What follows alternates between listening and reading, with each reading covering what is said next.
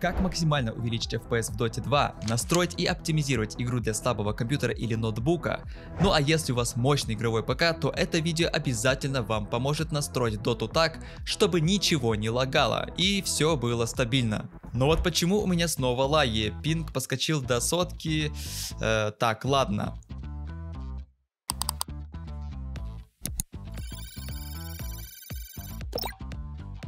Отлично, играть с таким пингом уже другое дело.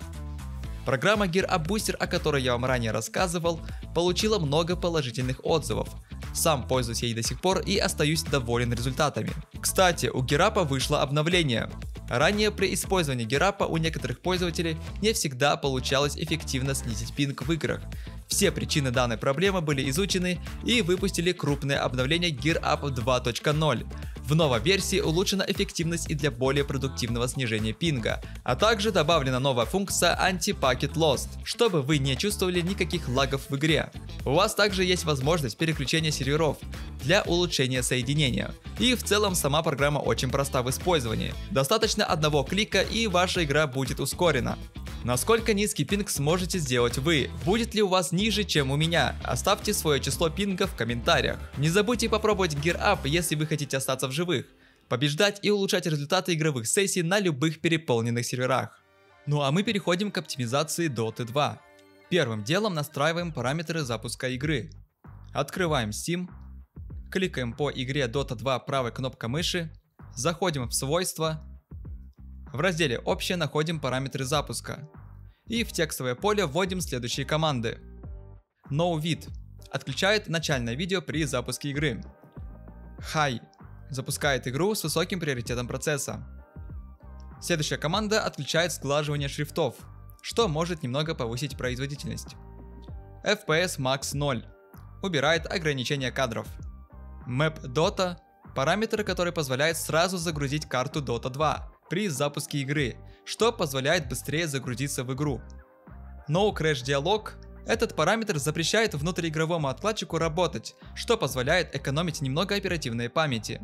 Он также удаляет диалог, память не может быть прочитана. No VR это команда для отключения поддержки виртуальной реальности. Отключение VR может освободить системные ресурсы, улучшая производительность игры.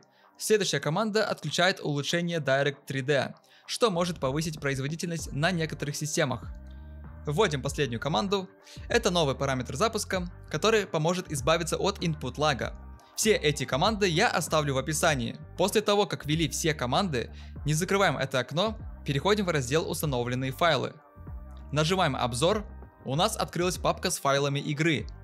Переходим в папку Game, bin, win64, находим файл dota2.exe. Кликаем по файлу правой кнопкой мыши, переходим в свойства, открываем раздел совместимость и ставим галочку возле «Отключить оптимизацию во весь экран». Важно, если вы являетесь стримером, то не советую вам это делать, так как OBS может не захватить вашу игру. Далее снова заходим в Steam, кликаем правой кнопкой мыши по Dota 2, переходим в свойства, ищем раздел Dop Content и обязательно добавляем вулкан. Теперь давайте обновим драйвера своей видеокарты. Новые версии драйверов помогут устранить различные проблемы, связанные с игрой и сделать ее работу более оптимизированной. Заходим на сайт для загрузки драйверов. В описании я оставлю ссылки для AMD и Nvidia. Выбираем свою видеокарту и операционную систему. Тип загрузки обязательно ставим Game Ready. Нажимаем на поиск и скачиваем свеженький драйвер. После чего устанавливаем его. Если у вас по каким-то причинам после обновления драйверов FPS очень сильно просел или появились какие-либо проблемы в играх, то советую откатить драйвер на предыдущую версию. Кстати, с помощью моего пака можно тоже обновить драйвера видеокарты, а еще оптимизировать Windows, процессор, жесткий диск, оперативную память, клавиатуру, мышь и даже интернет. Если вы не хотите вручную настраивать свой ПК, то благодаря моему паку это можно сделать быстро и легко. Вы настраиваете пошагово, после чего ваш компьютер или ноутбук будет работать в разы быстрее, и вы сможете поднять FPS в играх. Также я записал для вас гайд на свой пак. Вы можете проводить оптимизацию по нему. Ссылка на свой пак я оставлю в описании под видео. Следующий шаг очень сильно поможет вам поднять FPS в игре Dota 2. Спускаемся в описание и скачиваем утилиту Booster X. Она поможет нам оптимизировать Windows, избавиться от лагов и понизить задержку в играх. Запускаем утилиту, нажимаем начать оптимизацию. Выбираем эксперт меню, можем отключить обучение. Переходим в раздел базовые настройки и начинаем выставлять следующие параметры.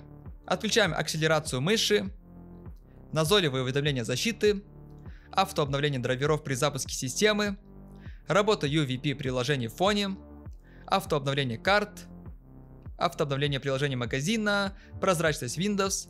Внешний вид ставим на оптимальное. Следующая настройка это Game Bar. Это функция, которая позволяет записывать игровые моменты, видео и прочее. Если вы этим не пользуетесь, то рекомендую отключить.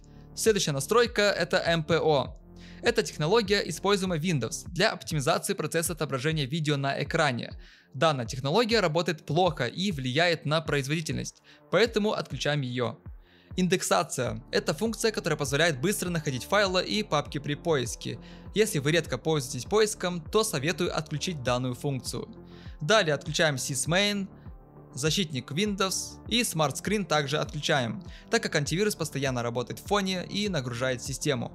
Отключаем Brandmauer и обновление Windows. Контроль учетной записи тоже выключаем.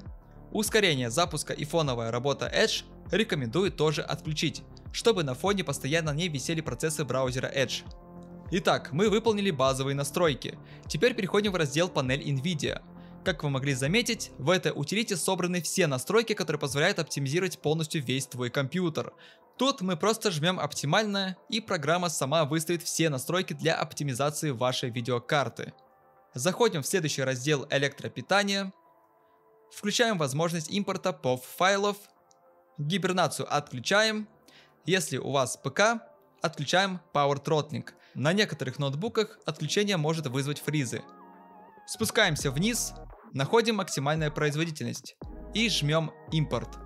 Переходим в раздел выпиливания. Здесь мы удаляем все ненужные программы, которые установлены на нашем компьютере. Далее заходим в раздел «Очистка».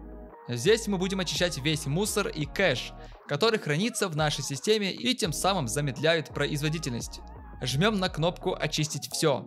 Тут также есть дополнительная расширенная очистка, которая позволяет очищать весь кэш и мусор с различных приложений и даже игр. Как вы можете заметить, у меня показывает 42 гигабайта мусора. Чтобы воспользоваться данной функцией, нужна про-версия данной программы. У меня она, кстати, есть. Помимо расширенной очистки, Pro-версия также дает вам возможность получить все функции данной утилиты. Например, углубленные твики системы, автобезопасная уборка автозагрузок и даже встроенная нейросеть Twix AI помощник, которая поможет решить любую проблему или даст ответ на любой вопрос. Например, если у вас на компьютере перестал работать микрофон или пропал звук, то вы просто вводите запрос и получаете готовые решения проблемы. Также Pro-версия дает множество других скрытых функций. В общем, если вы хотите прям максимально оптимизировать свой ПК, то можете приобрести себе Pro-версию Booster X. Теперь переходим в раздел «Приватность». Жмем на максимум, чтобы программа сама выставила все необходимые настройки. Далее заходим в раздел «Твики». Тут мы нажимаем на кнопку «Оптимальная». Переходим в следующий раздел «Автозагрузки». Здесь мы отключаем все ненужные приложения, которые запускаются при старте компьютера. После того, как мы выполнили все настройки и оптимизировали Windows, нажимаем «Применить». Ждем, пока все настройки применятся. И нажимаем «Перезагрузить ПК». Итак, мы перезагрузили свой компьютер. Теперь переходим к самому интересному. К оптимальной настройке графики и самой игры Dota 2. Запускаем Dota. Открываем настройки. Переходим в раздел сообщества ищем присоединиться к чату региона при запуске и отключаем. Далее заходим в настройки, жмем расширенные настройки, в самом низу ищем соединение и ставим качество высокое. Если же у вас проблемы с интернетом, то ставьте низкое, тем самым у вас не будут сильных разрывов в игре. Теперь переходим в раздел графика и начинаем выставлять следующие параметры. Ставим расширенные настройки, соотношение сторон выставляем 16 на 9, Размер ставим максимальный, исходя из вашего монитора. Режим отображения ставим полноэкранный. Тип рендеринга ставим вулкан. Он может значительно улучшить производительность и увеличить FPS. Далее включаем низкую задержку NVIDIA Reflex.